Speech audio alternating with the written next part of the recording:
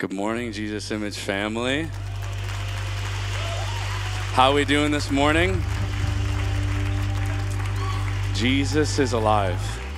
Jesus is alive. You know, I was just thinking about we are in right standing with God. That's not a thing to take for granted. We just want to welcome everyone that's online. Thank you so much for joining us. You're in for a treat. The Lord is going to be here. And I just want to open up with Ezekiel 36, verse 24. For I will take you from among the nations, gather you out of all the countries, and bring you into your own land. Then I will sprinkle clean water on you, and you shall be clean. I will cleanse you from all your filthiness and from all your idols. I will give you a new heart and put a new spirit within you. I will take the heart of stone out of your flesh and give you a heart of flesh. I will put my spirit within you and cause you to walk in my statutes, and you will keep my judgments and do them.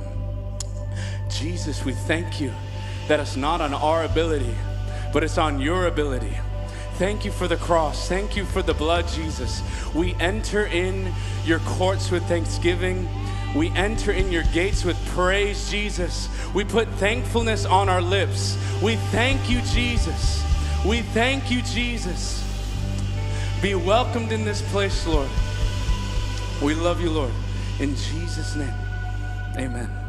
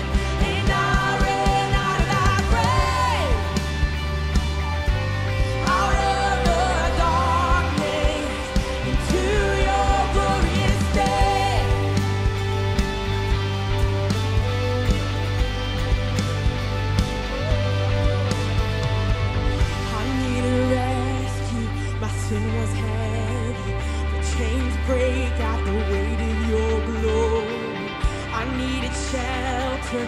I was an orphan, but you called me citizen of heaven. When I was broken,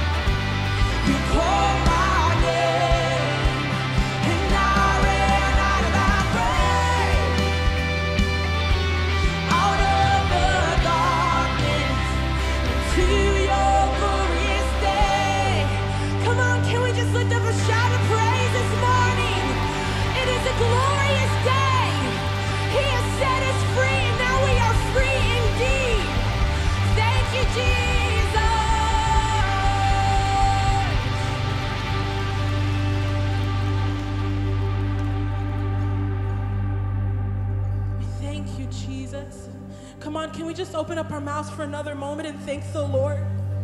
Thank you, Jesus. Oh, we thank you, Jesus. Thank you, Lord, this morning for your cross.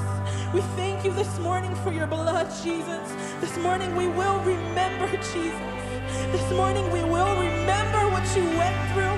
We will remember our condition before you came, Lord. Thank you, Lord, that when you came, everything changed. Now we have a hope and now we have a future, Lord. We you, Lord. Thank you, Jesus.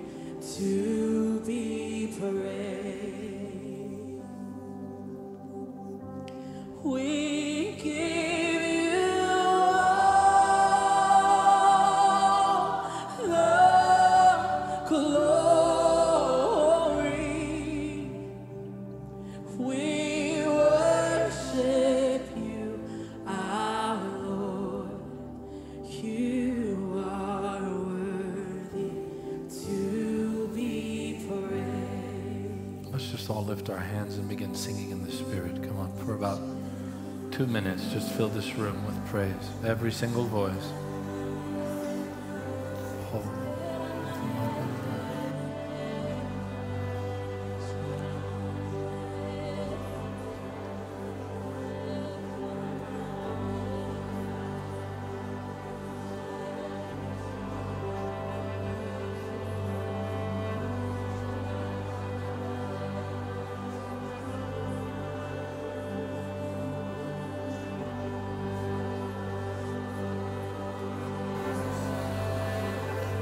Lift your voice a bit. Come on, worship the Lord.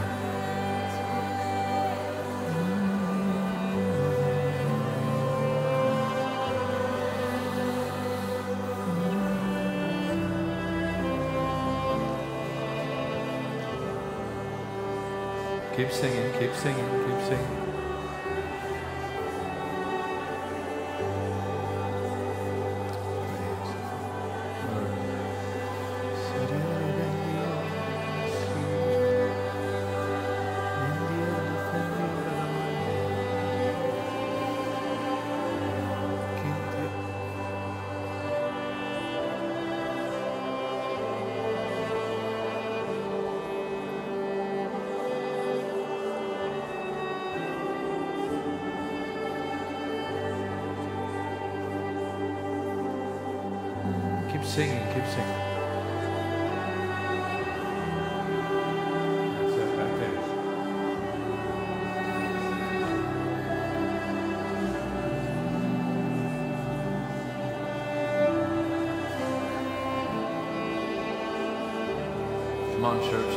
time now. Take it from the worship team. And be the saints of God.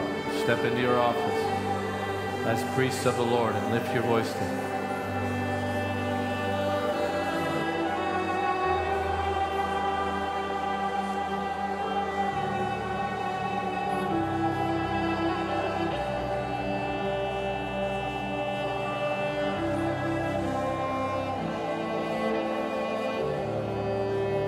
Keep going. On, stir up the inner man. Give Jesus praise. Lift your voice.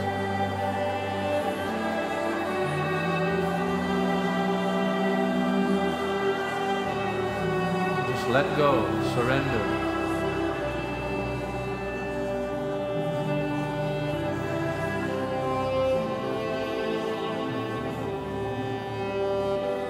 Let your spirit sing.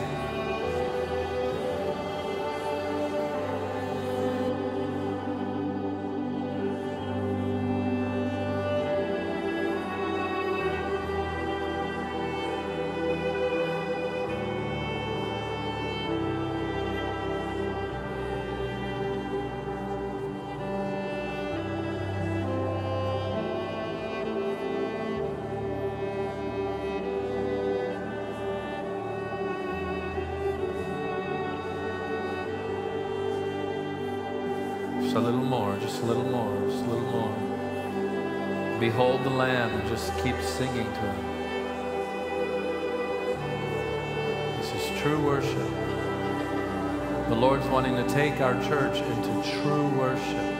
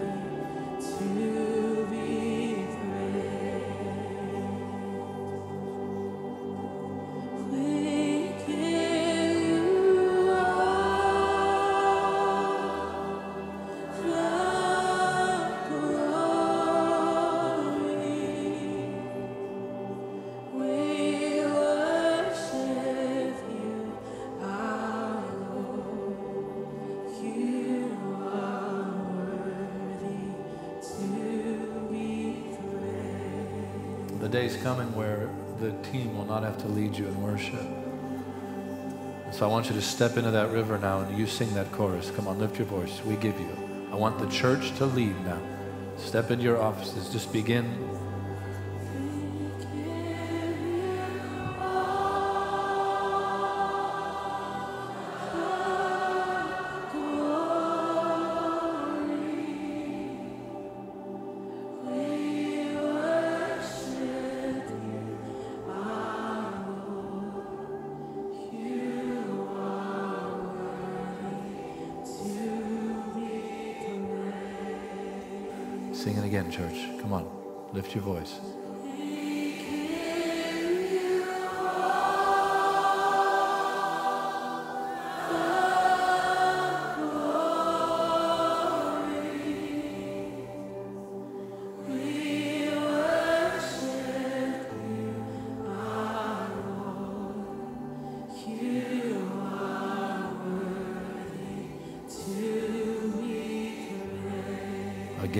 Again, just lift it a bit. Again, we give you.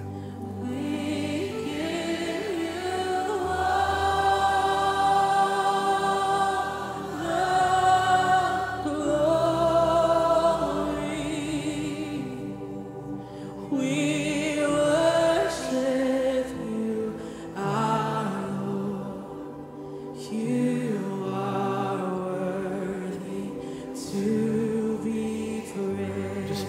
bit now. Come on, pick it up a bit again.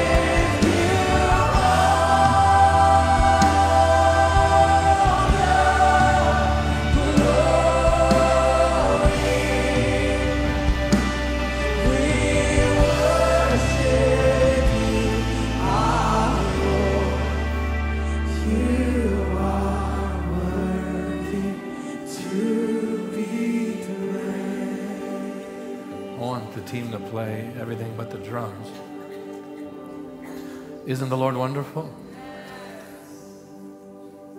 Keep playing. We give you. This morning while I was praying, I, I this picture kept flashing uh, before my heart of parents praying over their children. And maybe your children aren't here with you, or maybe your parents aren't here with you. You can still hold them in your heart. But if you're here this morning with children or your grandchildren, I want you right now just to um, lay your hands on them. Make sure they're your own kids.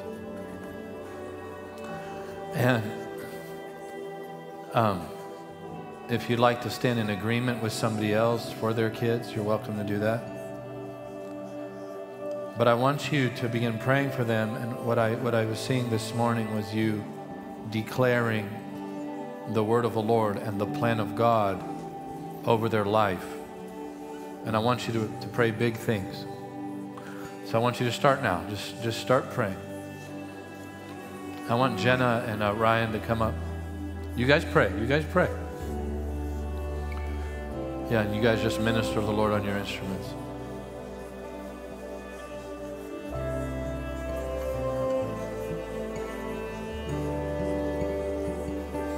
You guys grab a mic. Yeah, come come stand close to me. Come on, Father, in Jesus' name, we just thank you for our children and our grandchildren and the generations. You are the God of covenant, the God of generations. And so, right now, in Jesus' name, we declare your perfect plan over the generations to come. If you're believing for children, start declaring now. Father, I thank you for your plan. I thank you for a hedge of the blood that will protect our children, a hedge of the blood that will protect their minds. That you'd be the Lord of their life till the day they go home, and that they would never, ever bow or follow the world. In Jesus' name. You guys keep praying. Jenna, would you lead a little bit? And Ryan, I want you to pray when Jenna's done.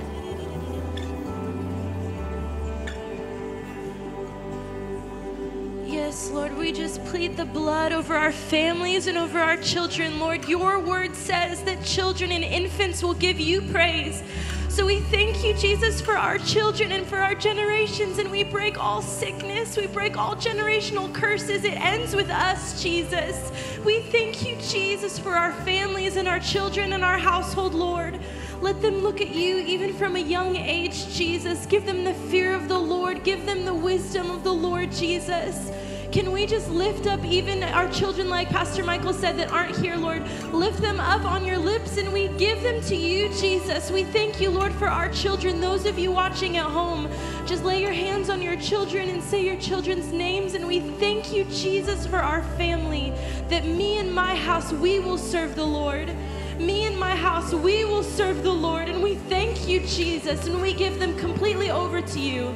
Like Pastor John Bevere says, we bind our children to the cross. We bind them to the cross, Jesus. They will not know a single day away from you, Lord. And we thank you, Jesus, for our families. We give them fully over to you, Jesus, and we plead the blood over each and every one of them in Jesus' mighty name.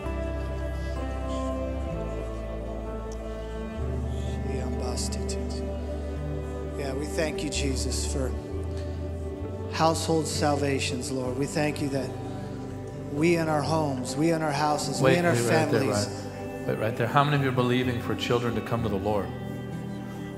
So many of you. Okay, pray into that. Go ahead. Yeah, Father, we just thank you, Come on, church, agree. This is dear to the heart of God. We and our house shall be saved. Our families shall be saved.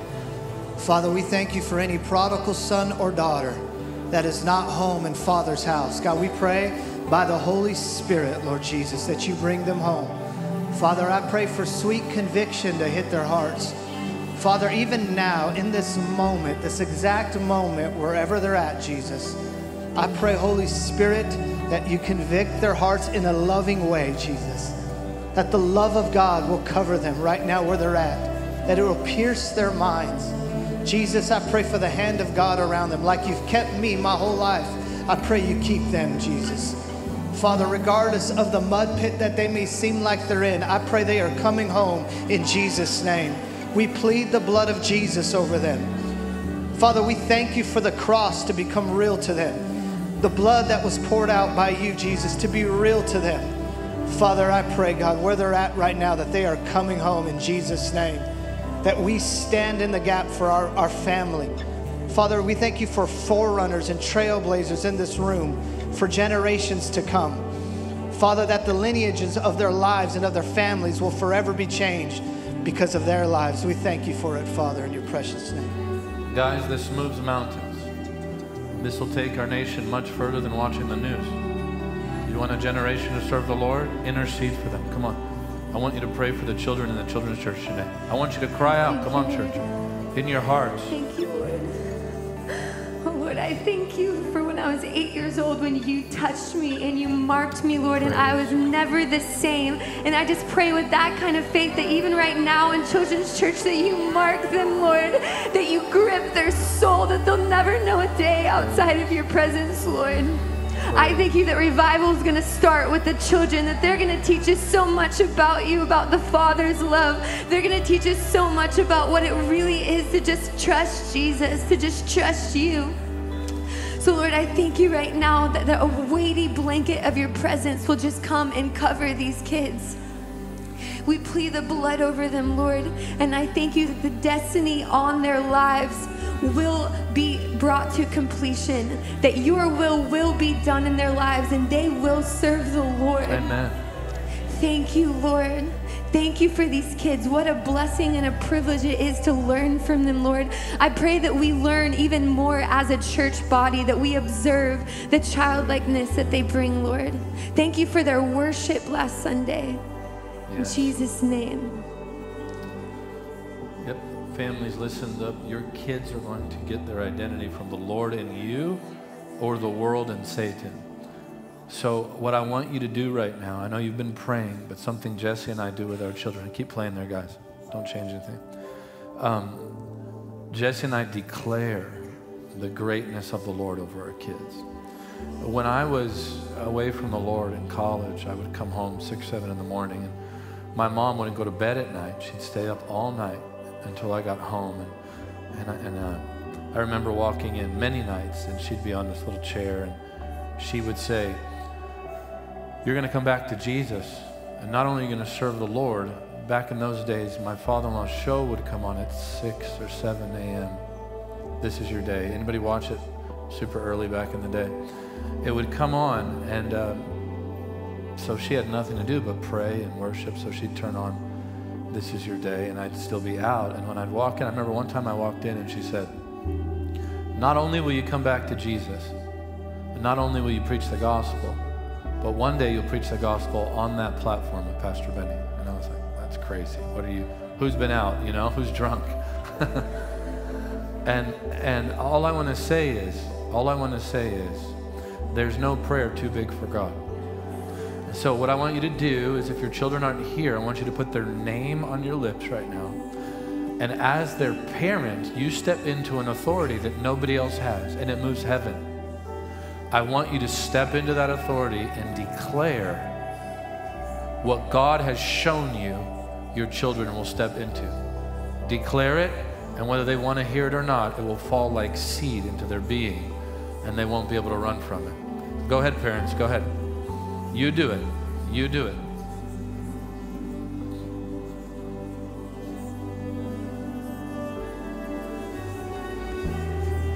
Come on, declare it.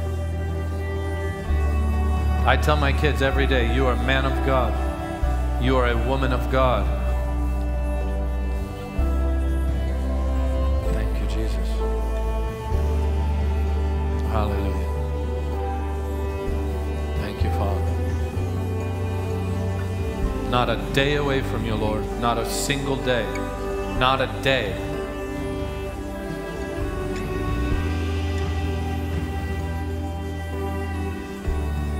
Thank you, Jesus, for your angels.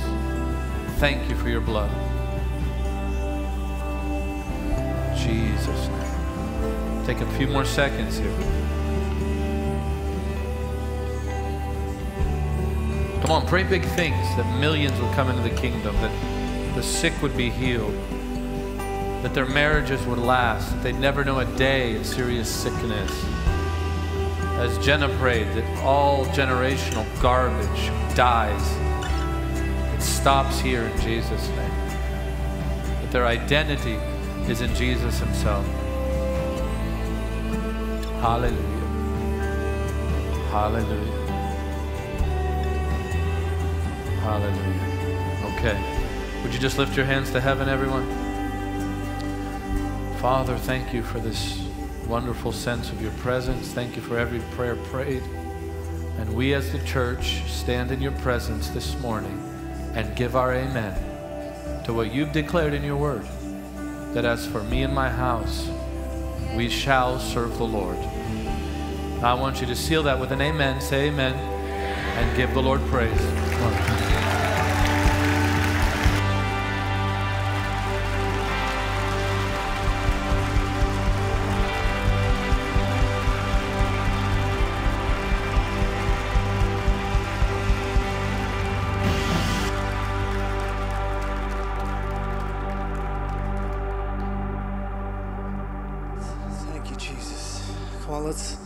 Thank the Lord for our worship team. Amazing.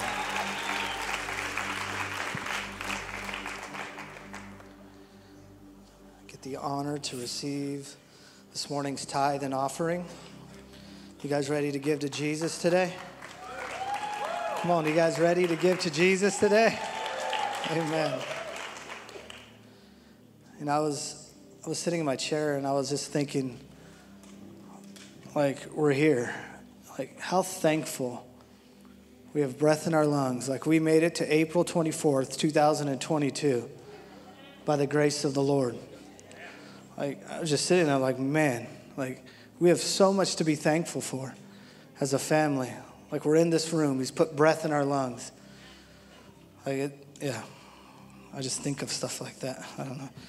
The Lord is faithful. But if you guys want to turn to Acts chapter 20, I'm going to read verse 35. It says, I have shown you in every way by laboring like this that you must support the weak. And remember the words of the Lord Jesus that he said, It is more blessed to give than it is to receive. Why is it more blessed to give than, it to, than to receive? Because the Lord is a giver, it's who he is. You know, and as we give our tithe and offering this morning, how many of you guys know, just like Pastor Michael has taught us, the tithe is the very first tenth of um, all that comes into our lives as far as financially. Um, and we get that opportunity. And it, all, and it also looks like we give that tithe back cheerfully. There's a heart posture that goes along with that first fruits. It's called cheerful giving.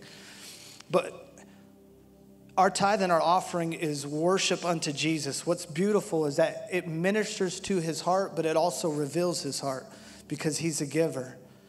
And every time that we give, whether we're giving on a Sunday morning as our tithe and our offering a Sunday night, or we're giving to the needy, to the poor, to those friends and family around us, that we're revealing the nature of Jesus. That it's a testimony unto him of who he is because he is the giver, capital G. We only learn how to give from him because he's a giver. And so this morning, I just want to encourage you guys that, man, you guys are all testimonies of Jesus.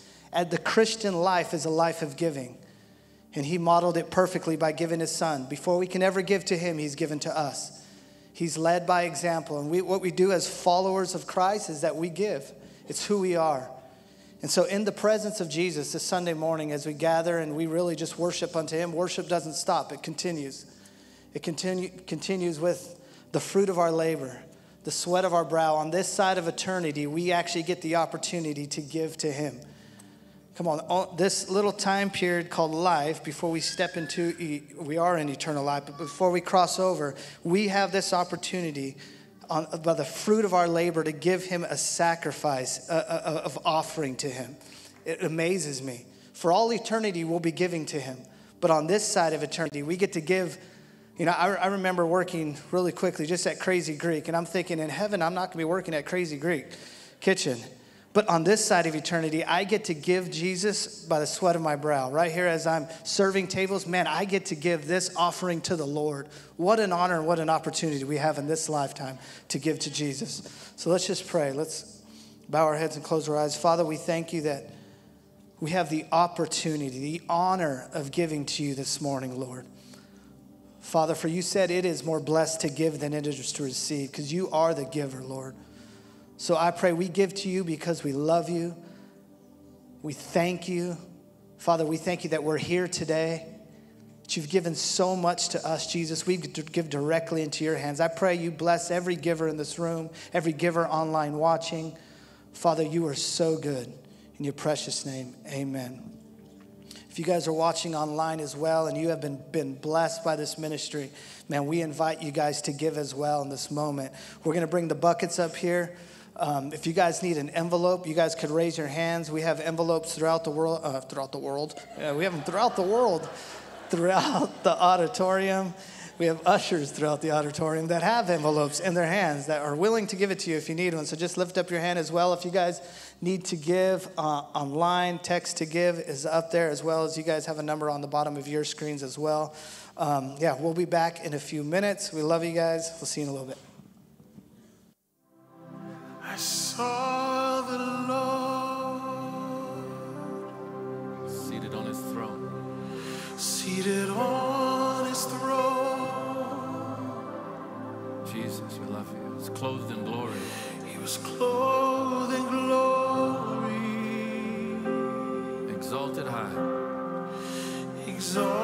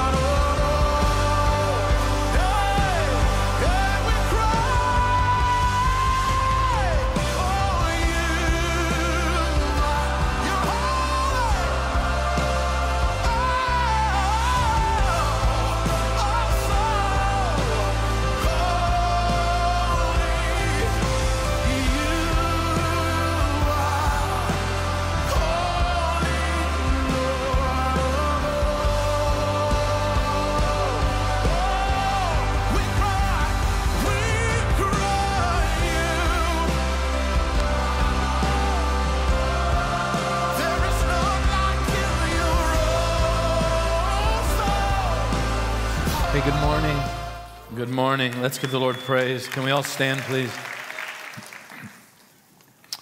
Come on, let's just lift our hands. Father, thank you so much for your amazing presence and for your word that is life and our food and our protection. We just thank you, Jesus, for hungry hearts this morning that come to you and say, Feed us, precious Lord. Feed us yourself and feed us the bread of life. In Jesus' name. Amen. Amen. Come on, give the Lord praise, would you? It's wonderful. I, I have one uh, announcement, and I already forgot it.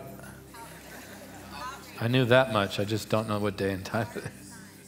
It's this Saturday. Okay, this Saturday, and I love, I love that we're doing this outreach. Uh, this Saturday at harvest time at 10 a.m., we will be blessing people. We're going to be reaching out to the community, food drive. And um, for those of you who've wanted to do more in preaching the gospel and reach people, this is a great opportunity for you. So I assume you can just scan that QR code and register, and the rest is history.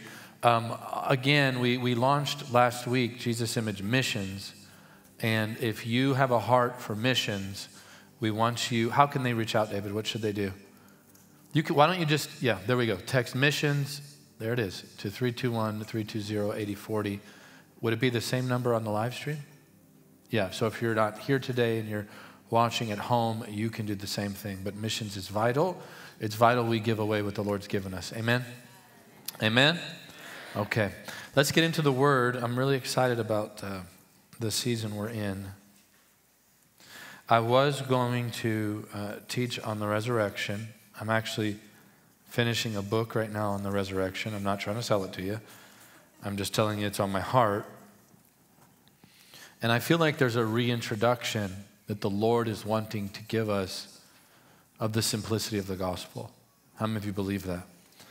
We have an entire generation who thinks they've heard the gospel and have not. And the resurrection obviously is vital to our faith and to the gospel message. Paul goes as far to say that our faith is futile if there be no resurrection. So the resurrection is key.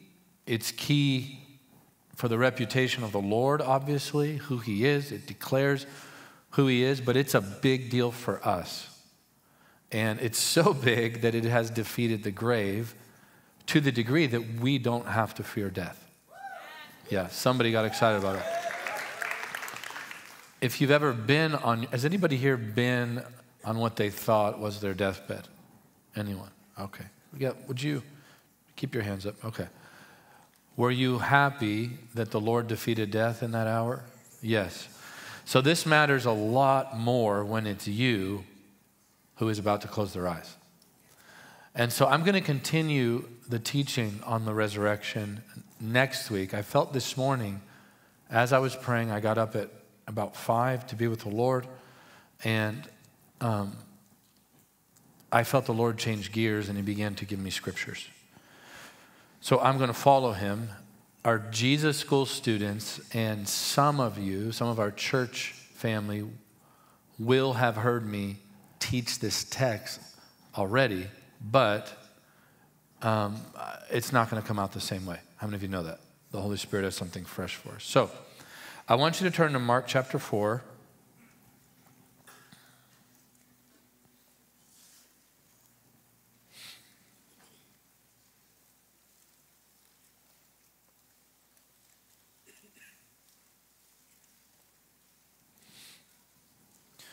And um, I want you to mark, I want you to mark Mark uh, chapter 4.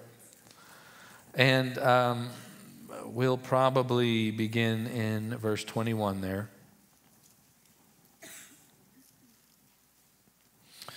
Now I want you to go in reverse, take a hard left, and go to Matthew 25. And we're going to begin in Matthew 25, 14.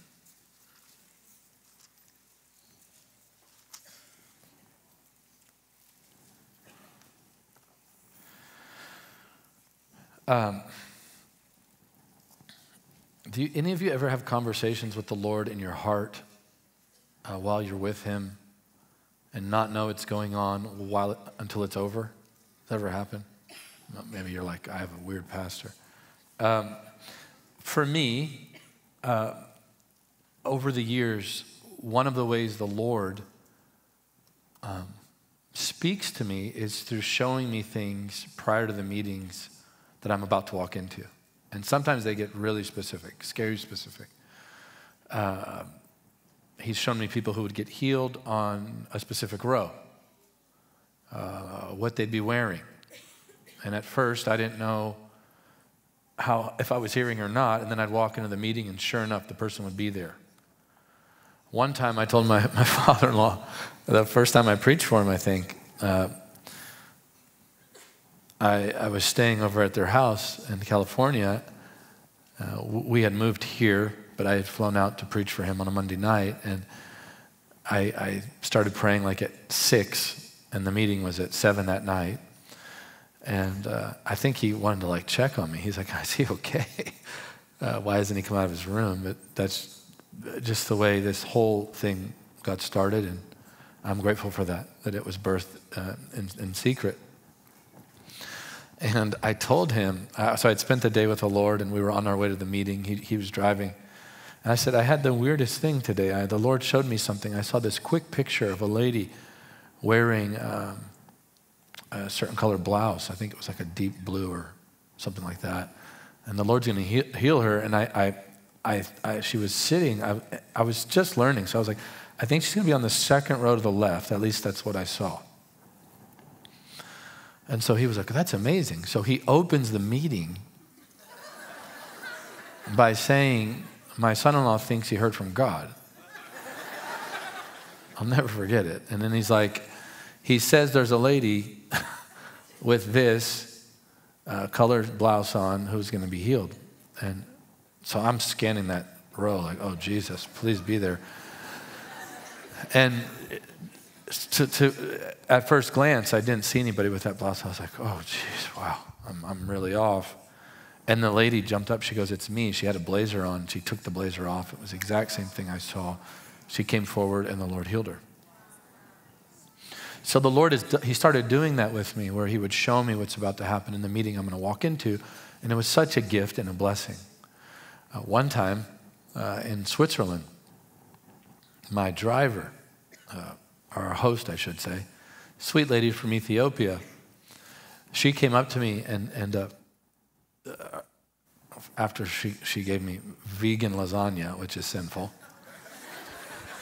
I'm like, what in the world? Is that even a thing? So she, she's like, this is vegan lasagna, it's great. And I was like, mm, mm-hmm. I wanted to honor her, so I did eat it. But I still wouldn't say it was lasagna. It was counterfeit. So she said this to me. I'll forget it. We're I'm eating the lasagna. She goes, Did you know there's no demons here in Switzerland? Wow, really? None? And she goes, No, I haven't seen they're not, none. They don't, I don't think there's any here. And I'm like, Well, what keeps them out? Are the, the mountains or what, what are you depending on? She goes, Yeah, I'm from Ethiopia and they're everywhere there, but there's none here. And prior to that time, uh, in our services, a lot of people would get healed, but there wasn't a whole lot of demonic manifestation, which is real, by the way. We don't glory in it. You still have to know how to handle them, and it's not as hard as you think. But if you don't live a holy life, they know too. I'll just say that. Uh, so as I'm eating, I thought, I had this flash in my spirit, and I was like, tell her, you'll see tonight. And before I said it, I, had, I could see it in my heart. And I said, I I didn't say, I, I, I didn't- say, Come, you'll see tonight. I said, well, just show up tonight. And uh, so, obviously, she had to. She was my host. And you would have thought every devil in Switzerland showed up to one service. And she looked at me while I was casting them out. I was walking down in, in the aisles, and she looked at me and she goes, I think we do have them here. I said, Yeah, you do. Clearly, see, that's not normal. And so today I felt the Lord do that. I felt Him throw me a, a little curveball to change what I had prepared months and months ago. And so we're going to follow the Lord. Amen? And we can trust him. Okay, Matthew 25.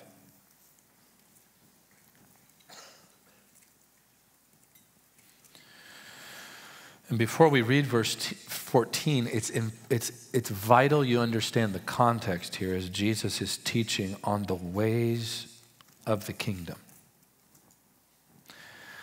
And prior to verse 14 are obviously verses, this is high level math, verses 1 through 13 are addressing the wise and foolish virgins. So when the Lord says something, it's really important if you want to get closer to Him that you understand when He said it and what He said or did prior and what He said or did after. Does that make sense? It's bigger than context. Context is important, but it's bigger than that. It's a matter of intimacy. Nothing the Lord says or does is by accident. So, what I would like to submit to you is that the schedule of the Lord in the Gospels says something to us about Him. Does that make sense? Um, if you want to see more healings in your life, go deeper than just trying to believe that it's real. Figure out how he stewarded the moment, what he addressed prior, what he said after. Can I, can I go a little deeper? I actually had this conversation with the Lord today.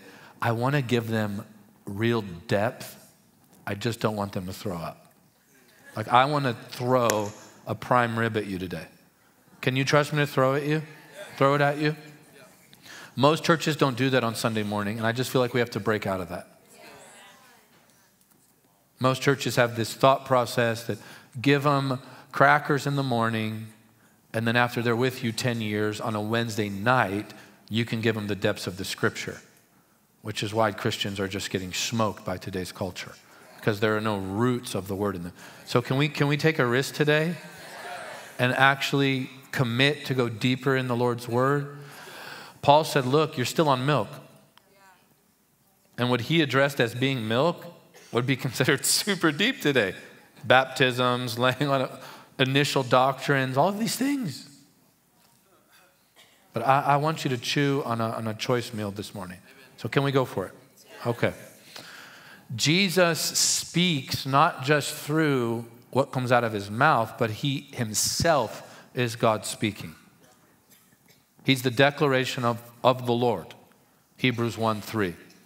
He's the express image of God, the very brightness of his glory. This is the Lord Jesus.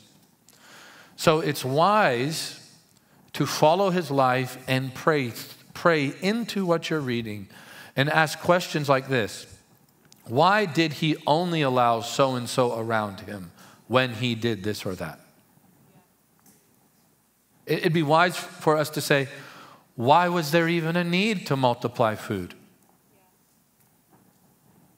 And if you get these answers, he amazes you even more. And if you allow him to amaze you, a life of worship erupts in the heart. Does that make sense? The deeper you go in the scriptures, the higher your praise will be. That was better than your reaction. The deeper you go this way into the scriptures, the higher your response and praise will be. You stay here, you stay in the shallow end, your praise goes about 10 feet high. But the word is meant to reveal the Lord so that we actually have a response and respond to his worth and his majesty. And so, studying the Lord Jesus Christ, let me make this very, very, very clear, is to study God himself. This isn't like studying uh, Jeremiah. Though Jeremiah is great.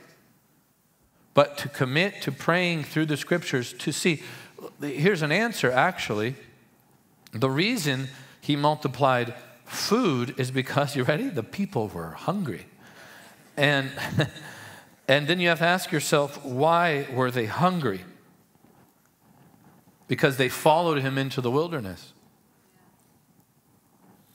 So that says something to me about him. It says that if I'm faithful, he'll take care of me.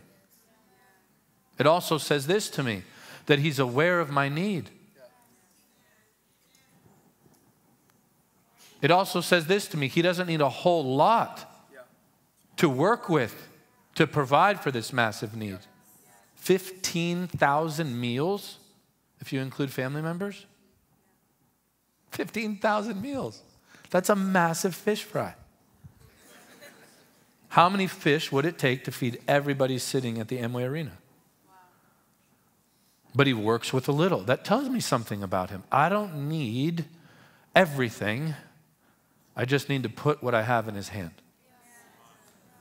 I'll stay out of that shadow there. I can tell the team's wanting me to stay in the right spot. You're welcome, Johan.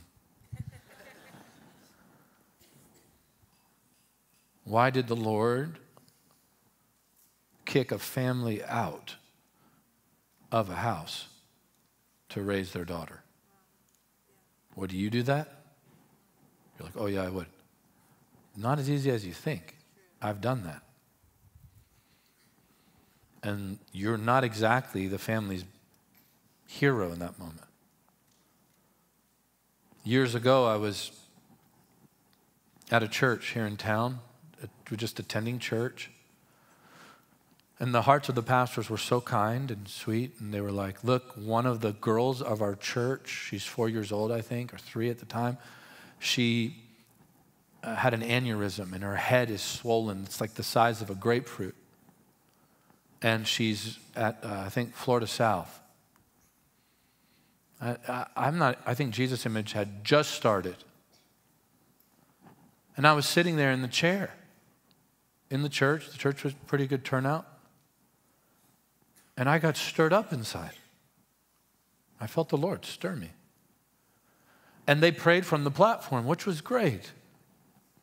But I felt the Lord stir me and say, Are you going to stop there? Well, I said, Lord, I don't know the family. And I, I'm not a leader here in the church.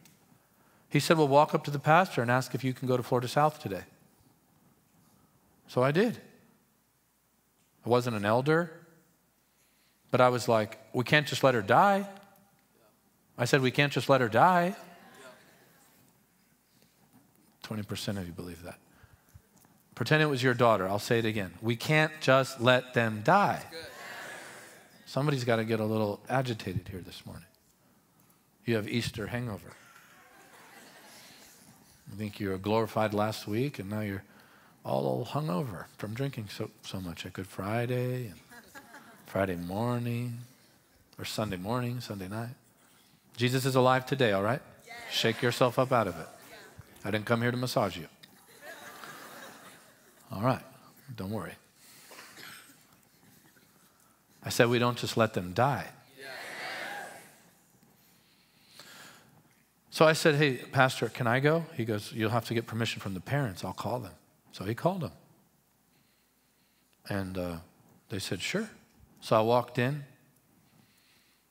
The lobby was beautiful because it was for kids. It was really a, a gorgeous facility. And there was a man I'd never seen before. And my dad was with me because when you walk into those moments, you look for agreement. I hope you're learning.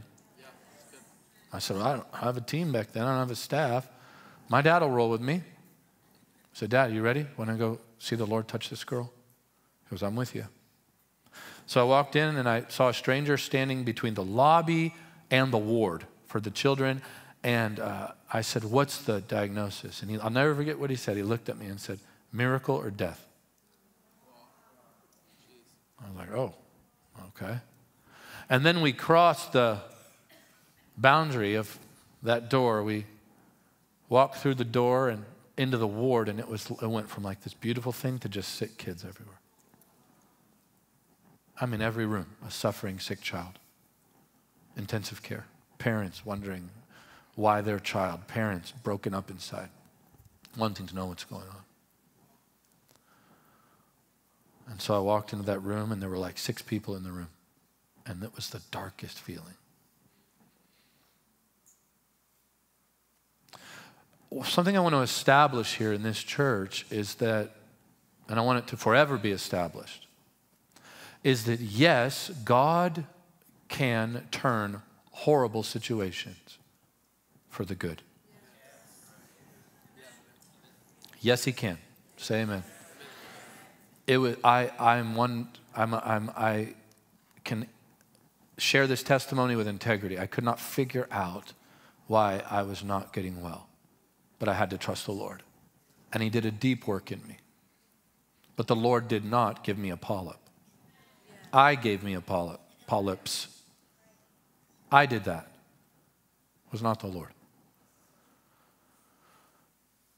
And when you walk into a room like that, you have to know God sent you.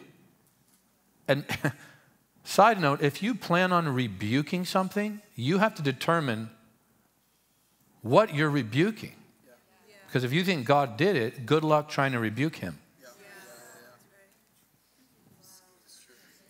This is so simple theology, and I don't know why the church has it so confused. So I walked in and I felt this boldness come over me, and I could not believe what I said. I, I can't believe it. I looked the family in the eye and said, I'm so sorry for what you're going through. I drove all the way here as a servant of God. I came here to watch God rip the claws of Satan off this little baby. And if you don't think he can do it, I need you to leave. That's what I said. And then I thought, what did you just do? And my dad was like, he didn't leave my side. But I could tell he was like, whoa, you're the shy golfer kid. What happened? They sat up real quick and they go, no, no, no, we believe. I said, okay, I just need to say one more time. I'm about to pray. And how many of you know we should expect a result when we pray? That's what Jesus taught. It may not be what modern day dead theology teaches, but Jesus taught us to believe what we pray. Right? So I didn't know what to pray because I was shocked by the sight of the little child. I, I, the child's head had swollen up. It was, it was rough. So we just started to sing. We started to sing Hallelujah because I was too nervous to remember any other song. And that had enough lyrics that I was able to, the right lyric amount that I could actually remember. One word. Huh. So we joined hands, started singing over the little child. And when we started singing,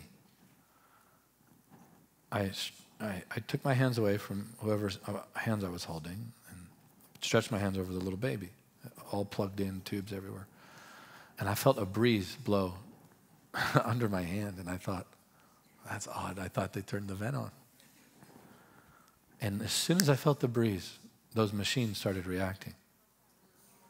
So I jumped back because I'd never been in that type of circumstance, and I thought I had stepped on a wire or pulled something out of the poor child. And I actually apologized. I said, I'm so sorry. I don't know. I, I, I guess I did something. Uh, maybe I stepped on something or pulled something. And they said, the parents said, No, no, no, no. Don't stop. Don't stop. That, whatever's happening, those machines are reacting, and those are, those, those are signs of improvement. Keep going. So, so I went home. I'm sorry. I went home. And the next day, I got a phone call. I was meeting with a pastor, and the, my, the person on the other line, one of the family members, said, Michael, uh, uh, my sister, the little baby, went home yesterday. She said, within 20 minutes of you guys worshiping, again, not us praying, though that's fine, of you guys just worshiping, the baby started breathing a certain amount of breaths. I don't remember the breath, the breath amount, but I know it was within like 20 minutes the baby started breathing on, it, on her own. And the baby went home. Yeah, give the Lord praise. The point is, The point is, if I didn't look at the life of the Lord Jesus through the scriptures, not through my own perspective, I would not have known what to do in that circumstance.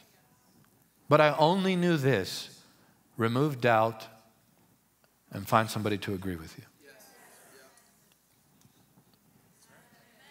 That's what happens when you don't stop at the surface of the text. Okay? So it's important to look at this text in verse 14 and say, what's the Lord talking about prior? And the whole context is the return of the Lord. Wise and foolish virgins. If you look at Matthew 24, verses 45 through 51, the, the, the text is about the faithful servant and the evil servant. Verses 36 of, of chapter 24 through 44 are all about nobody knowing the day or hour of his return. So, in the same breath, the Lord is talking about the end of the age. And now he inserts, I want you to get this, the parable of the talents.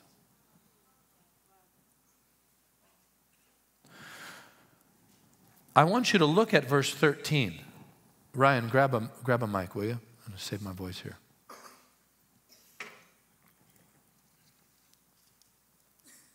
Can you read verse 13? Matthew 24. Sorry, Matthew 25. 25. Mm hmm. Starting in verse 14. Verse 13. 13. Okay.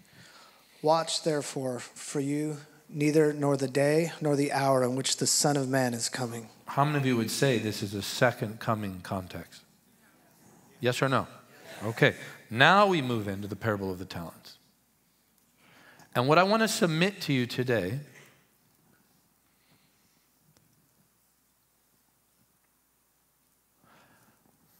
is that as the Lord's return approaches, more and more people will sell their birthright.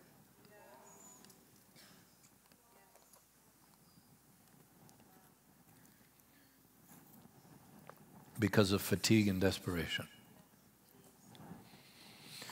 Why did Esau sell his birthright? He was hungry and tired.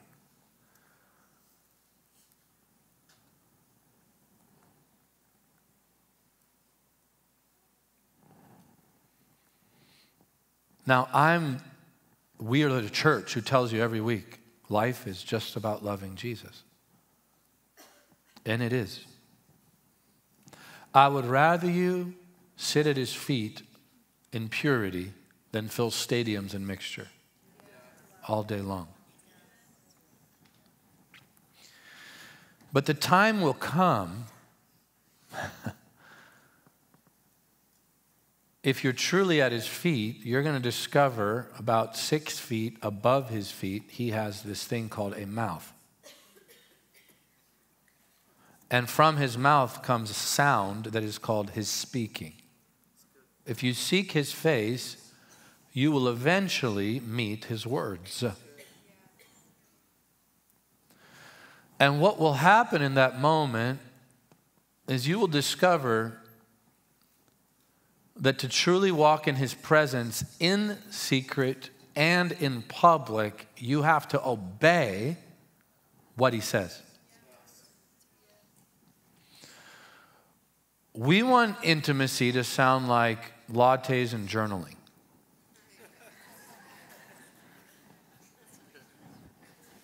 With your little Jesus image beanie. But that's not the way the Lord receives love. How many of you read the five love languages? Okay, I have one that didn't make the book called Obedience. It's a great book. Don't, don't get me wrong. But to the Lord, love looks like obedience. To the Lord, love looks like sacrifice.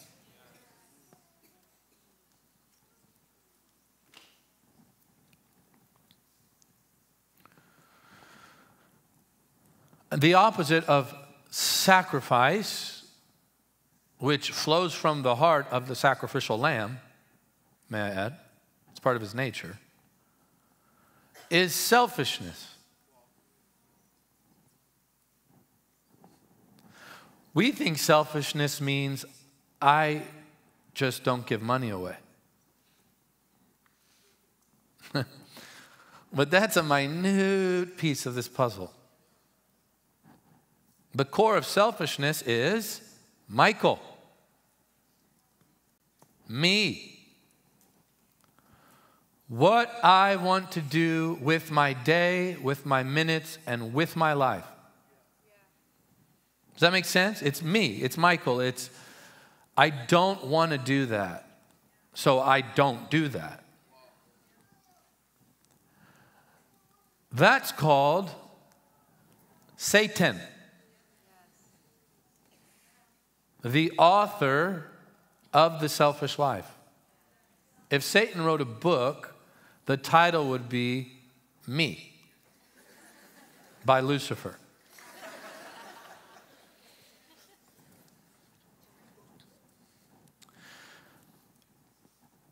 The deception sets in when you spiritualize your disobedience. Welcome to Jesus School. This is what it's like every day. So if, if you want this every day, just come. That's where the deception comes in. It's when you spiritualize the disobedience and start to think that, yeah, it's about you, but it's about you in the name of Jesus.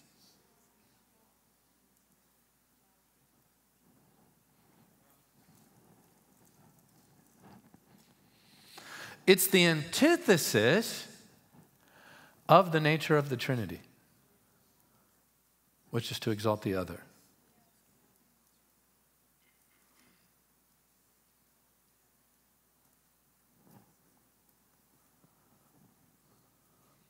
It's funny to me, the Lord didn't come as a, you know, a bald eagle. John didn't introduce him that way, or a great white shark. We're all into the lion thing. That's mentioned a couple times, but that's not the narrative of the text. The narrative of the whole Bible is a lamb is coming. It's interesting to me that he comes as a lamb. I mean, I've never seen any athlete get a lamb tattooed on their shoulder. I mean, would you want your center, if you were a quarterback, to have a lamb on his shoulder or a big bear? I want the guy with the bear on it. Right? This isn't exactly the type of animal that makes me want to conquer the world. But in the kingdom, lowliness and gentleness destroys self exaltation.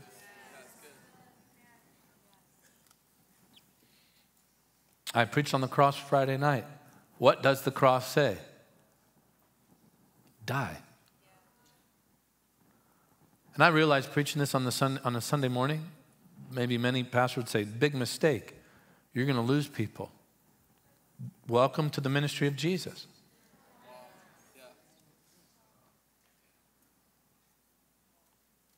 You may walk out, but this message is going to harass you until you go into the ground.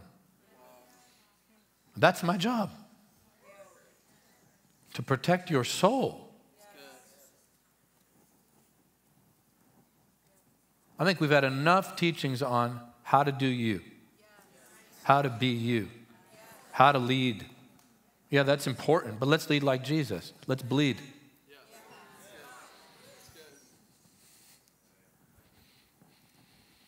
This is how you pick your 12 and your 30 and your 72 and you're 120, and this is what you do. Oh, yeah, you forgot something here. He died for them. And he prayed all night before he picked the 12, and I don't hear that in a single leadership teaching. Spend nine hours on a mountain. Throw the resumes out the window and ask your father who is right for the job. right? That's.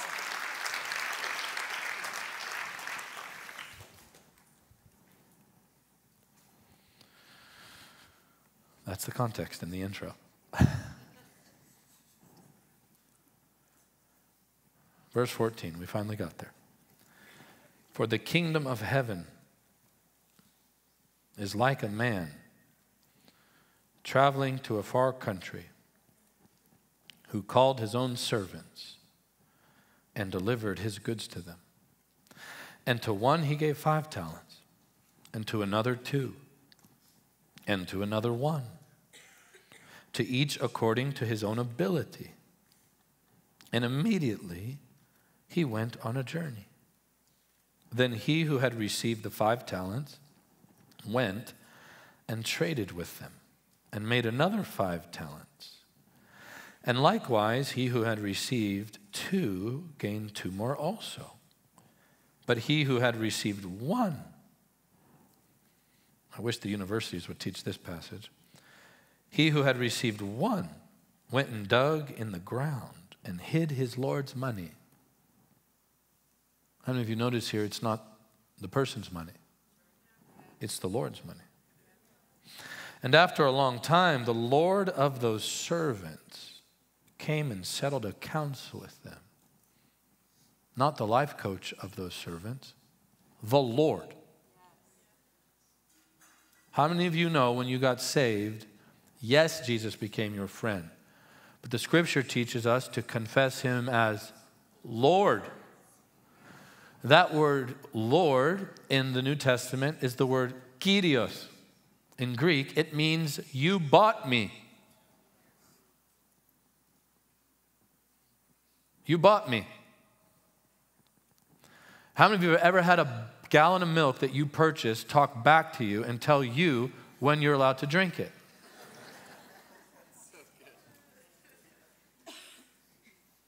Or, uh, I need boundaries. It's like, no, dude, I bought you. You're mine.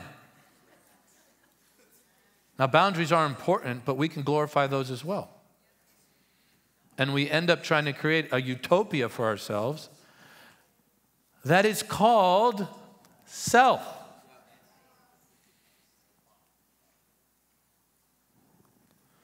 It's the Lord's money. Now, the, this teaching is not about finance, but it would apply to it. And after a long time, this is speaking of the ascension, he has gone up and will return, and the space, the amount of time between the two. How many of you know Jesus went up and he is seated at the right hand of the Father? Between that moment and his return is this amount of time. The Lord of those servants came and settled accounts with them. You think tax season is thorough. It's funny, you know, the judgment seat isn't going to be all like lightning bolts, there will be, but there's actually going to be a diligent accounting that takes place. If you want a good accountant you want to stay out of jail, you want to find a meticulous accountant. There's no more meticulous Lord than Jesus.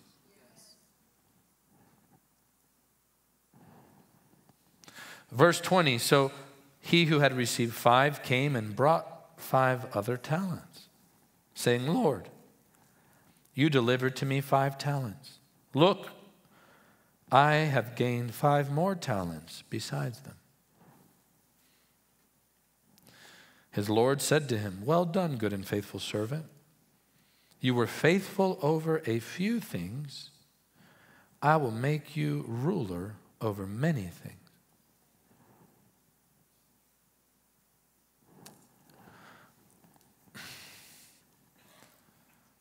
This man had the most to start with, right? Yes or no?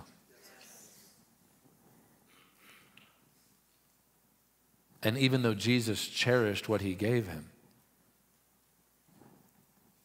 when he addresses him, when the man brings his 10 talents total, the Lord says, You've been faithful over a few things.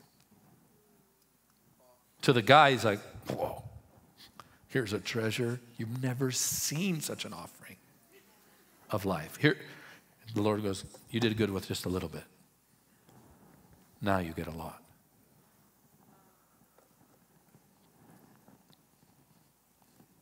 Verse 21. His Lord said to him, Well done, good and faithful servant. You were faithful over a few things. I'll make you ruler over many things. Enter in to the joy of your Lord. He also, who had received two, came and said, Lord, you delivered to me two talents. Look, I have gained two more talents besides them. His Lord said to him, Well done, good and faithful servant. You have been faithful over a few things. I will make you ruler over many things. Enter into the joy of the Lord. Same reward, even though he brought less. Get this. This is where comparison dies. Same reward. It's not about how much you start with. The question is, did you steward it? You're rewarded not for the exact amount, you're just rewarded for the multiplication that comes because of stewardship. Verse 24. Am I boring you? It's going to get way more boring. Then he who had received the one talent came and said, Lord, I knew you to be a hard man, reaping where you have not sown. In other words, I knew you to be a thief.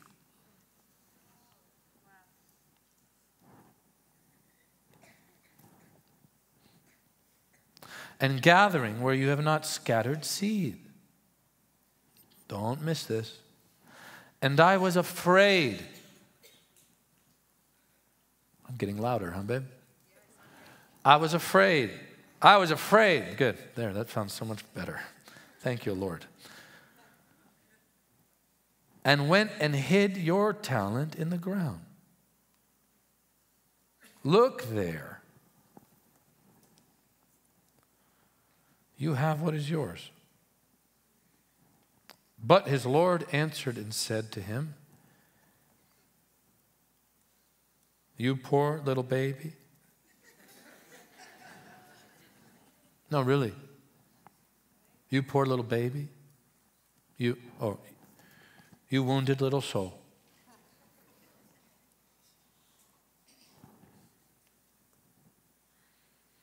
I'm just trying to find that. Oh, yeah, there it is. You are so busy running errands, you just couldn't make it happen. No, don't say that either. You wicked and lazy servant. Who, wrote the Bible? Say the Holy Spirit. Did I write it? No, I'm just reading it. You wicked. See, we think wickedness is a Ouija board. And it is. but that is not the core of it all. We have to let the Lord determine what is evil and wicked. You say, I work hard. You might be working hard on the wrong stuff. You say, I'm a great steward. You might be a great steward of you, but not what He gave you.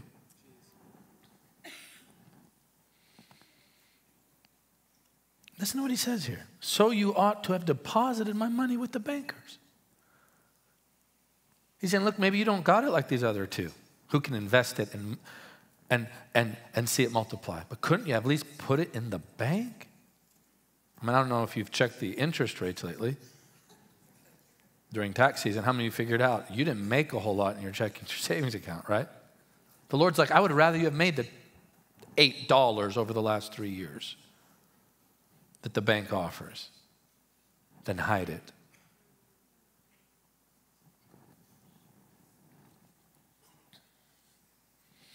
And at my coming, I would have received back my own with interest.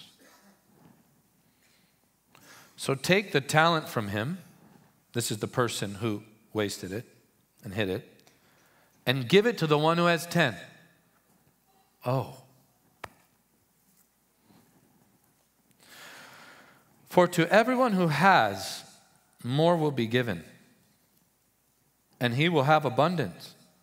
But from him who does not have, even what he has will be taken away. Oh, you, it would be better and easier on us to stop there and cast the unprofitable servant into the outer darkness. There will be weeping and the gnashing of teeth. Then again, you look at verse 31, he sandwiches it with his soon coming return. Why would he teach on the parable of the talents directly in between, dead smack in the middle of end time teaching? I believe it's because of what I said earlier. Many will sell their birthright as the coming age comes to an end. I should say, as this age comes to an end.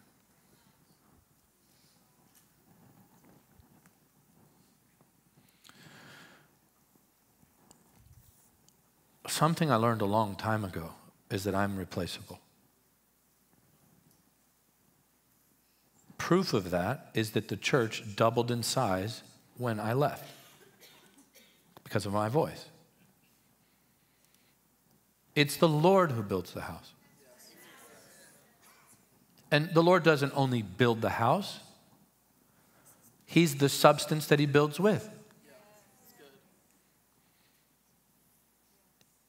That's what He told Peter. Peter said, You are the Christ, the Son of the living God. And then the Lord instituted how He would build. Upon this rock, upon that revelation, that I am the Christ, the Son of the living God. So that's the substance. If you're wondering what the brick and mortar of the church is, it is the person and nature of Jesus himself. But he doesn't stop there. Yes, he's substance, but then he goes on to say, I will build it. So he's the builder and the material. Does that make sense?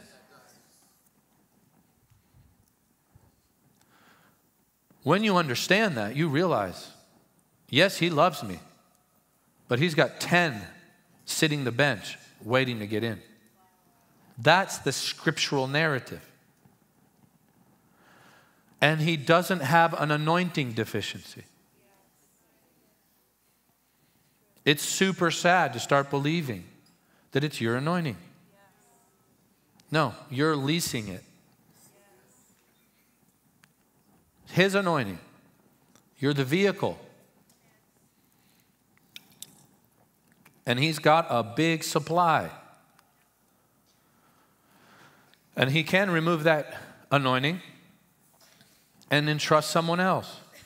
Even if you keep your gift that is without repentance, when you remove the anointing of the Spirit and keep the gift, your gift gets smelly because there's no protective anointing. The anointing carries the fragrance of Jesus. So it smells beautiful, but nothing is more gross than watching someone gives, who gives words of knowledge and sleeps with chicks on the side. That's what happens. More than you know. Making sense? Too much for Sunday. Okay. Trying to help you. As Bishop Jakes would say, get ready, get ready, get ready, get ready. This is just the beginning.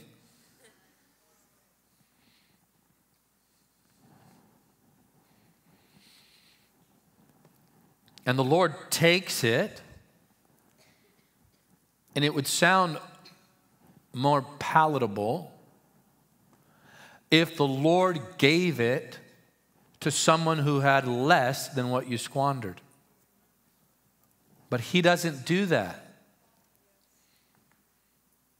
Government does that, but the king doesn't. And how many of you know in heaven there is no voting him in or out? He's not moving, he's on an immovable throne. See, it's very, and these texts are meant to go er, er, and reveal what's in there. And before you leave him, I would just like to encourage you to say, I don't like that. And guess what he's going to say? I'm not changing it.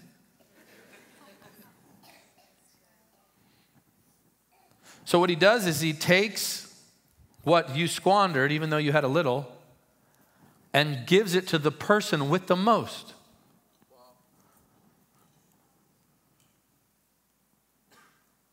Which sounds really unfair.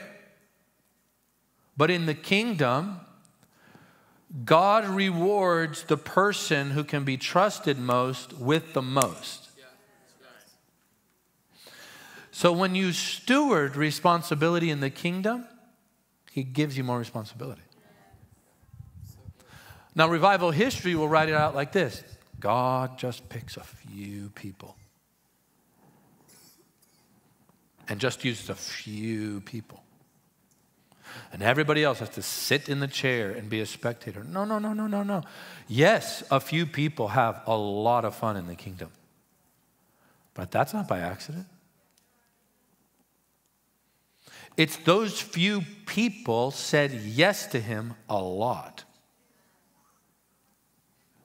And he gave them a talent, and it multiplied. What does sickness do? It shuts you down. What did the virus do? Shut down and brought havoc. What should you do financially in those times? The opposite of the nature of the attack. So when the world hoards, we give. Amen? The world is afraid of death, we laugh at it. The world punches their enemy back, we say, Please hit me again. The taste of blood is glorious and you can't beat us. That's the kingdom. It's so much different. So much different.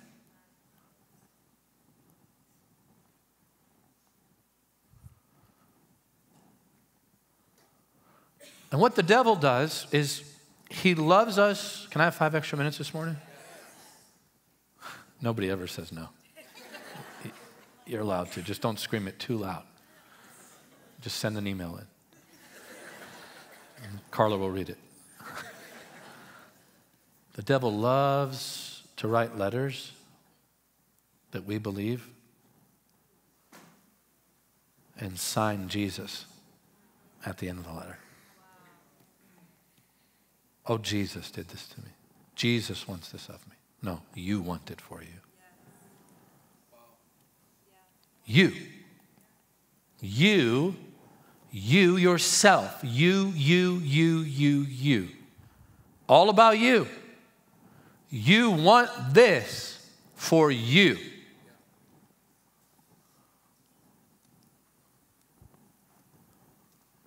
And the tragedy comes when we blame our suffering on Jesus. It's not, it's not as spiritual as you think. It is and it isn't. No principality gave me a polyp. I talked too much. It would be very convenient to me to blame a demon. Because that wouldn't require a lifestyle change. That wouldn't require correction from my pastors. I have been corrected at a level you cannot imagine to the point of being called basically dumb and hypocritical. Now, I don't agree with the last part, but I needed to get spanked. Even if you get a wrong spanking, we need the spanking. It's what Jeremy talked about. Because I can always respond in a godly way, even if they're wrong. And even their wrong spanking softens my heart, which is true spirituality.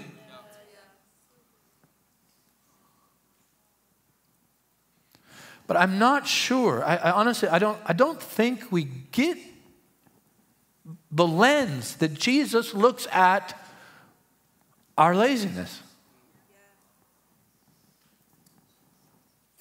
I think, I think we think he just sees it as, it's just, well, they're just a little lazy. But he didn't say that. He said it's wicked.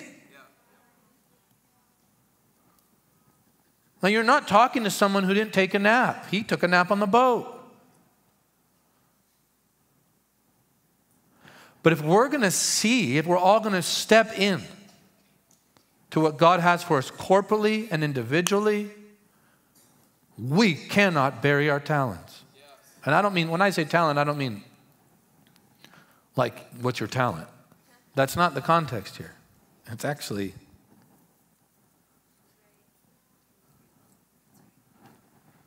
how many of you know you don't deposit rollerblades in a bank? It's just, he's talking about money.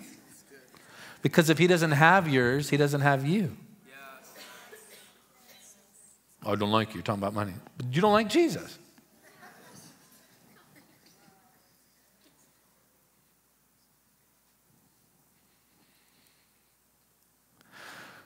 Now, here's the rough part. Well, there's a lot that's rough here in this passage. Is that you're going to be there when the transfer happens. When he takes your one that you hid and gives it to the guy with or girl with 10, you're going to have to watch it. And what I would submit to you today, this might be out of context, but it's still a kingdom principle, is that you'll watch it while you're here too. I've seen many people squander what God gave them and they had to watch someone step in and step into more.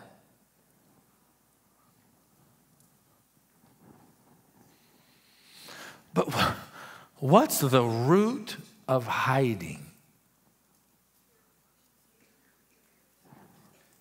Think Bible. What's the root of hiding? I was afraid and went and hid. Fear and hiddenness always go hand in hand. I hid your talent in the ground. Look there, you have what is yours.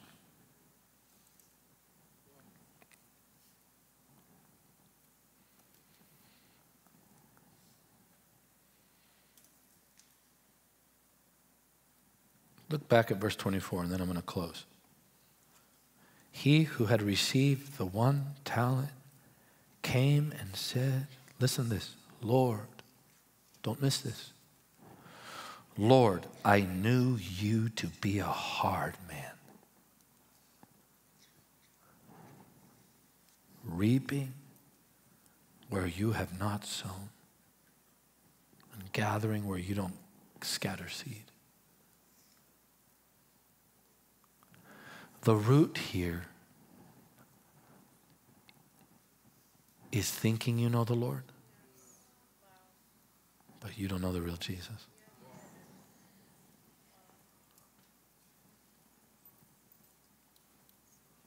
It's having a vision of Jesus that's not true.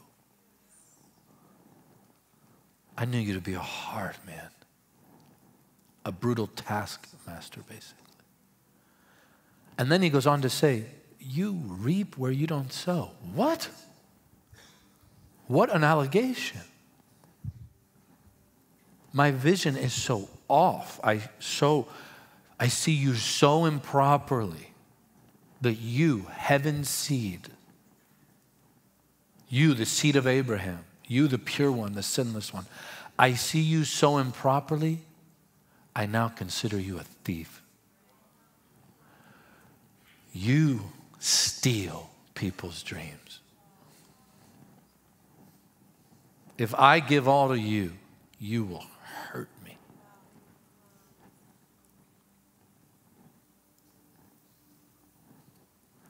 That's where the fear came from.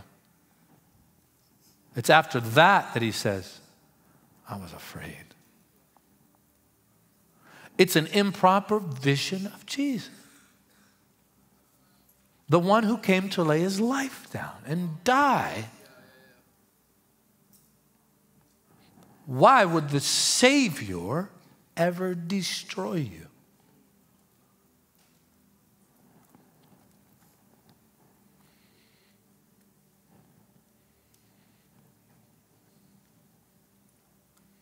There are so many better preachers than me. So many with more radical faith. So many people who understand church planting better than I do. So many songwriters who are better than me. So many who are more gifted, who have more talents. But I've watched day in and day out people see him improperly. And then they cocoon themselves and squander what he gave them. And all I've tried to do is stay at his feet and say yes to the best of my ability. Well, Lord, I don't want to do that. He goes, I know, but I'm the Lord. I bought you. I know, but can't we just have intimacy? Uh huh, after you do this. And I'll increase the intimacy because you said yes. Because to you, this is shallow obedience, Michael. But to me, they that love me obey me. This is love to me. It's a task for you. And what he does is, is you come in and you, you get down on your knees, you're there in prayer, and you wait. And you wait and wait and wait. Nothing comes. And then all of a sudden, you sense his presence and you wait again. You just stay there because it's life. And all of the sudden, maybe it's 10 minutes in or 10 hours in or 10 days in, whatever it takes, he speaks. And you discover that his speaking carries life. He said that. My words are spirit and life. So there's life in his direction. They're not empty commands, they are life filled commands. It's almost like the Holy Spirit carries the capsule of his command and direction and fills the capsule with his presence and life. So when you receive the direction, you're not just doing the right thing, you're receiving life and you come alive. As you steward that and give him your yes, don't miss this. I'm speaking to you by the Spirit this morning. As you steward that and stay with him long enough, he will eventually ask of you what discomforts you, what interrupts you, what agitates you. And the command will bring you, listen carefully, to the end of your self sufficiency and your normal natural ability. It's like walking a plank. You've seen those old pirate movies. They push the guy out, and he's, he walks so slow. His hands are tied, and he keeps walking the plank. And that's what God's voice is like. With every direction, you take another step on the plank. And we're so afraid of the unknown, that is the ocean. But his voice is meant to do that. You think Moses was excited about delivering a nation as a stutterer and having to face Pharaoh who wanted to kill him? You think he was like, This is exactly what I wanted for my life? But would we all agree that if Moses says no to the voice coming out of the bush, he's never going to see the glory for the tabernacle? Yes or no? Would there be a tabernacle if he says, I'm just going to stay right here as a shepherd and be faithful? Oh, it's just about faithfulness. I want to be faithful and simple. And here's the worst one hidden. When God wants you to go, hiddenness is a sin. You are speaking to the man who does not like crowds. If you want to make me happy, drop me off in, in a golf course or the woods. Not this. I love you, but this isn't my natural makeup.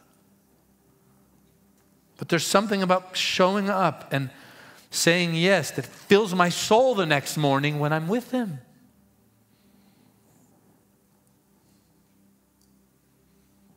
And so, what I would submit to you this morning is intimacy with God. Listen carefully. Releases His word to you. When the word comes and you're faithful with it, intimacy increases. It's a beautiful cycle. If you say no, your intimacy is roadblocked.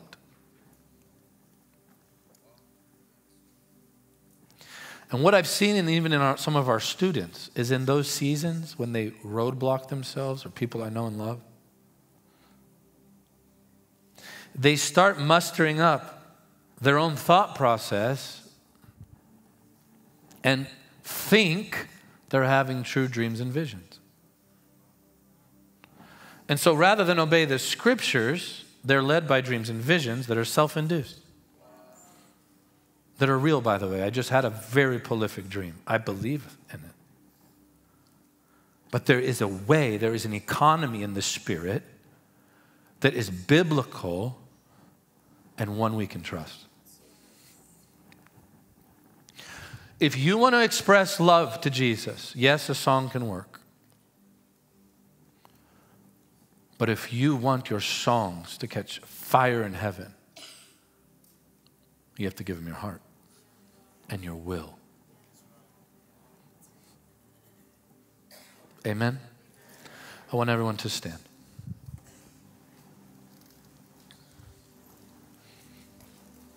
I recently had a dream. I, I, I thought it was, uh, I knew it was the Lord, but I took it to the leaders in my life and I thought they would all go, Oh, so deep. That's amazing. Every one of them tested it. I could see it on their face when I was telling them. They weren't like, Whoa, do this. They were going, and I could tell after you do this for a while, I could tell, and these are all men and women you'd love that you all listen to. I could tell as I was sharing the dream, that little Rolodex was spinning. They're looking for signs of the word in the dream. They didn't buy it right off the bat, it had to line up with the scriptures and what the Lord has called me to. That's what we need in our life. Amen? With every head bowed and eye closed, we're going to. I know I went a little over today, but how many of you believe this was needed and that we all need to hear this? Okay.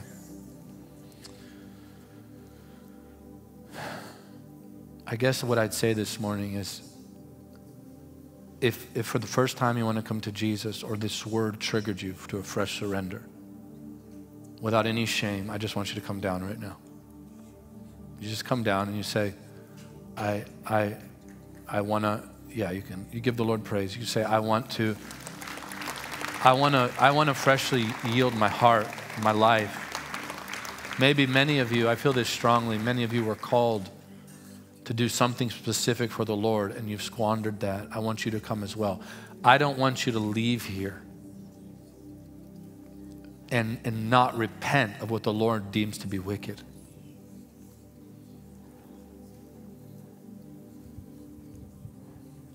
Some of you, it was something very simple. To other you, it was a ministry. Some of you, it was a church. It was a call to the nation. Some of you, it was to do this or that. I don't know. But when I read that and I heard the word wicked, I thought, I think you see this much differently than I do, Lord, and I need you to rearrange my vision. Yeah, you can come down. Don't worry. We're in no rush. We're in no rush. You come down. I think it's wicked to be bound to a clock. Come on down. Yeah. The Holy Spirit's moving on many of you. We'll wait.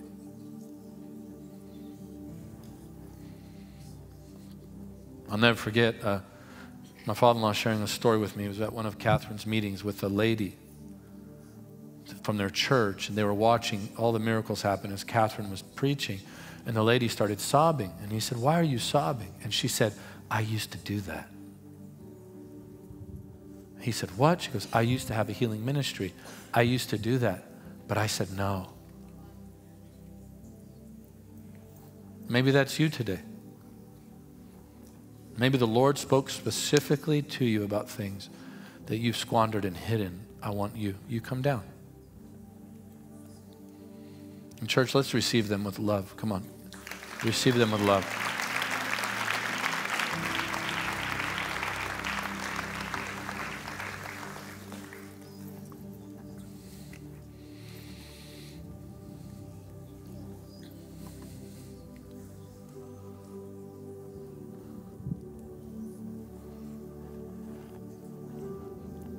I feel like there's some some people here who've the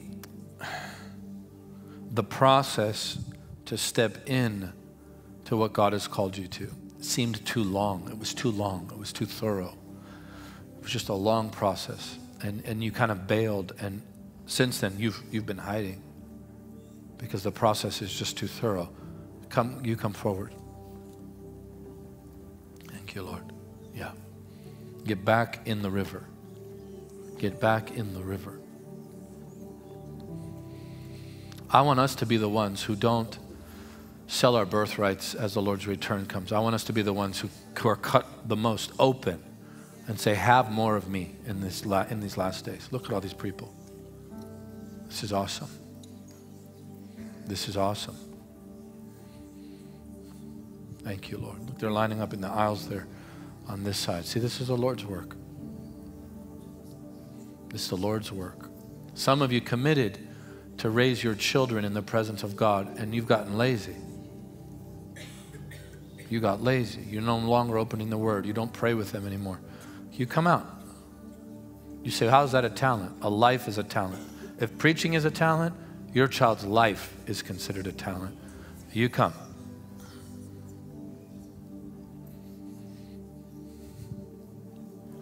And in moments like this, the only thing that would cause us to hide is to see him as a hard man,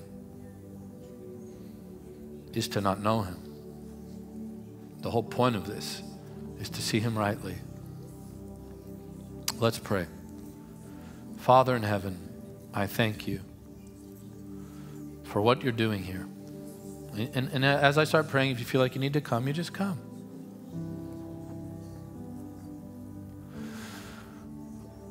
Deliver us from us. We can trust you to take care of us. You're the shepherd. And so, Lord, we confess our sin this morning. I just want us to pray this out loud, especially some of you who've come forward to meet Jesus for the first time. I just want us to confess this out loud. This is our faith. Heavenly Father, forgive me for living for me. Forgive me for seeing you as a hard man. You are a good father. You sent your son to die for me. And so today, Lord Jesus, I repent of my sin. Forgive me. Cleanse me. Keep me. I'm sorry, Lord. Jesus, I believe that you came to the earth, suffered and died, and rose again, and that you're reigning on high, and that you're returning. Find me faithful when you return, not wicked, faithful, not lazy, but sober, looking at you, obeying you loving you and walking with you. Come into my heart. Fill my life with your presence. In Jesus' name. Amen. Uh, can we get them communion quickly? We're all going to receive before we leave. This is, yeah, just keep playing there, Joel. Emma, can you come? Just help Joel. Let's remain standing for communion. And those of you who are being touched by the Lord up front or in your seats, let the Lord touch you.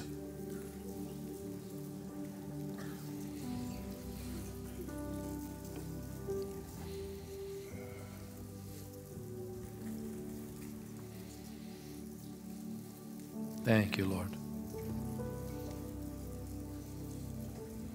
I want you to just say this out loud. Say, Father, you love me, and I can trust you. Say that again. Father, you love me, and I can trust you. One more time. Father, you love me, and I can trust you. Has everyone been served? If you haven't been, would you just wave at me? Okay. Let's take the bread. Jesus, we lift the bread of life. And we thank you for being lifted on the cross. And we ask you, Lord, forgive our sin, cleanse us, cleanse our motives, our actions, and our hearts. Thank you, Lord. And Jesus, as you were lifted on the tree, you said you'd draw all men unto yourself. And so we break the bread today because your body was torn. And we say thank you for the blood and the body of Jesus. Cleanse our lives, heal us. And you said that as often as we do this, we declare the Lord's death until he comes. I want you to think of that, church. We declare the Lord's death right now to every angel, every principality, every throne and dominion, to heaven, to every saint, and to the Lord Himself. We say Jesus died and rose again. And so this morning we receive the body of the Lord Jesus Christ as your family, Jesus. Amen. Receive.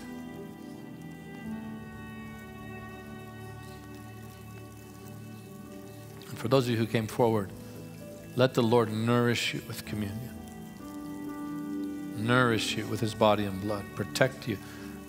Jesus said, This is the cup of the new covenant in my blood, shed for the remission of sin. And Lord, let the power of the blood do its work now. Cleanse us, heal us, forgive us, and protect us. Take our lives in Jesus' name. Receive.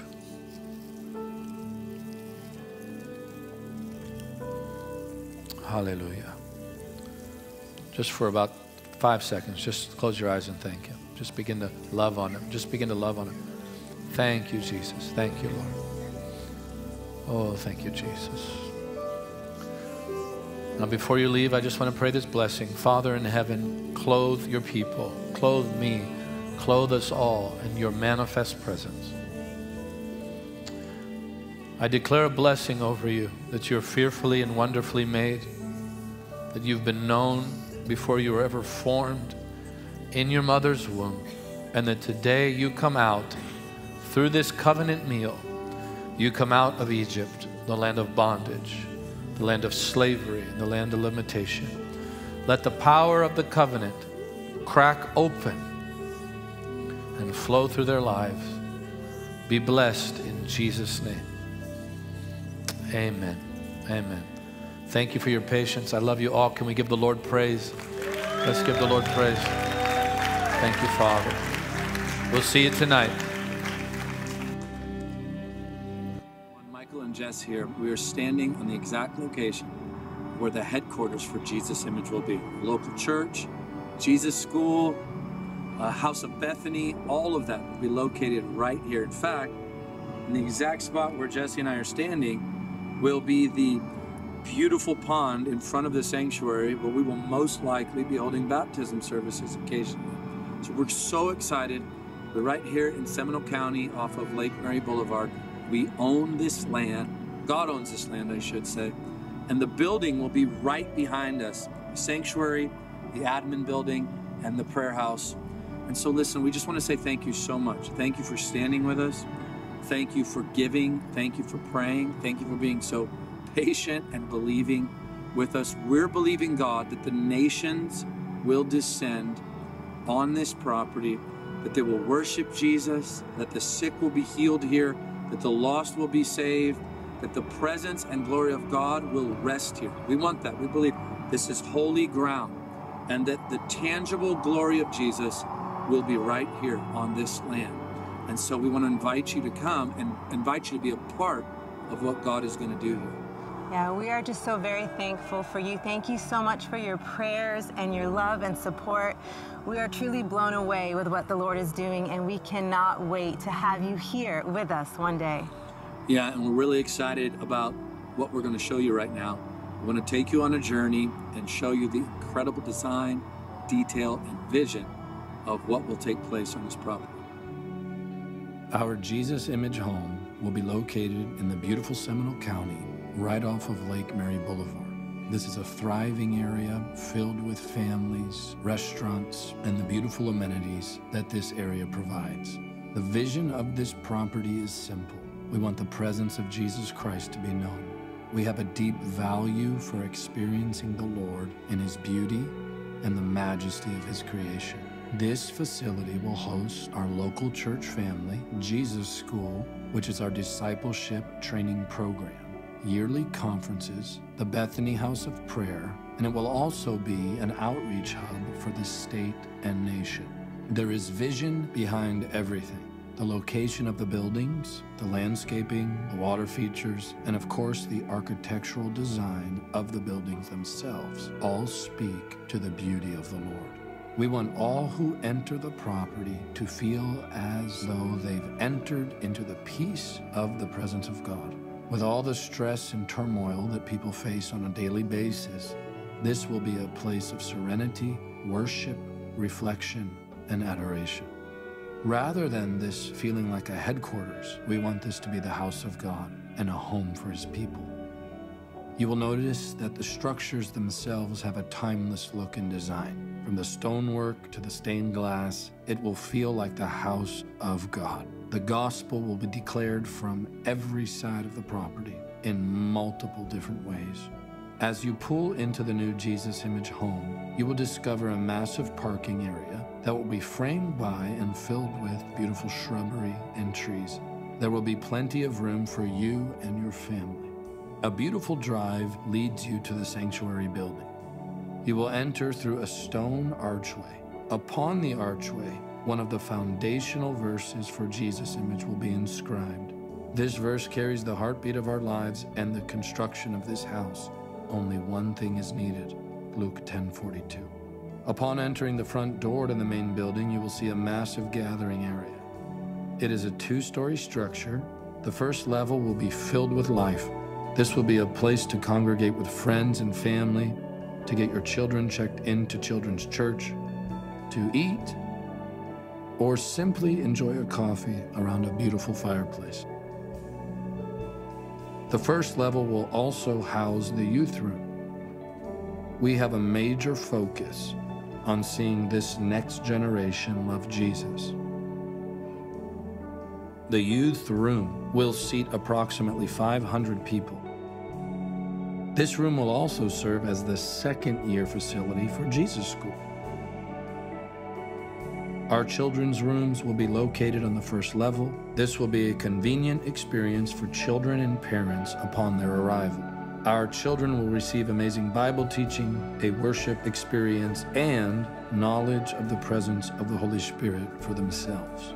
The second level of the main building will facilitate working spaces for our board of directors, our staff, and interns. This will be a great blessing for us as we move forward in wisdom as a ministry. As you know, God has graced Jesus Image with a massive reach through media. Thousands have come to Jesus, and so many have been healed and set free through our media ministry. We will have our very own production studio where we can create content and continue to stream live to the nations. We will release podcasts, social media content, videos, and much more. Multiplied millions have watched our media content, and we believe our creative team will flourish in this new space as they step out into this vital and anointed calling. As you walk across the main gathering space, you will discover the sanctuary. What an amazing space this will be. While we will have state of the art technology in the sanctuary, the space will take you back in time, a time when churches had a sacred feel to them. You will discover beautiful stained glass behind the platform. Stained glass will line the sides of the sanctuary as well, all telling the gospel story of Jesus. There will be timeless wood beaming and stonework throughout. We long for His presence to fill this place, and it will be a home for you as well. We will seat approximately 1,500 people, yet it will not lose the personal feel that we so deeply value. The platform will be spacious, with plenty of room for ministry, our worship teams, and of course, a baptismal. You will notice a round stained glass image on the back wall of the sanctuary depicting a dove in fire descending in the room. May the Holy Spirit fill our hearts each time we gather as a church family. The sanctuary space will also serve Jesus School. This will house our hundreds of first year students as well as our general school sessions. These students will be missionaries to the nations of the world and to their generation. The gospel will be declared from this sanctuary space multiple times per week, and people will be raised up from this place to share Jesus with the world. May millions be saved, healed, and touched by the Holy Spirit. Lastly, for our favorite space on the property, the Bethany House of Prayer. This will be the prayer house for Jesus Image. It will be a place for adoration, silent prayer, reflecting upon the scriptures, and worship. You will notice that the house will be built upon a pond. The setting will be quaint and breathtaking. Stone and wood mark the space with warmth and a traditional look that we believe will transcend generations. We believe this will be the hub of the entire property, a place where intimacy with God and pure prayer ascend before Him. It is named the Bethany House because Bethany was the place where Jesus was loved deeply. Therefore, He rested there. Mary found the better part, and it is our prayer that all who enter will find Jesus there and fall in love with Him. May Jesus be pleased with all that takes place here. May he be adored and worshiped on this property. May his word be taught with clarity, boldness, and love. May his gospel flood the nations, and may the generations to come find him here. Will you stand with us? Will you pray and give toward this vision? Will you give sacrificially for the sake of Jesus and his gospel? Will you be a part of something that will outlive you for the sake of eternity? Thank you. We love you. Jesus is beautiful.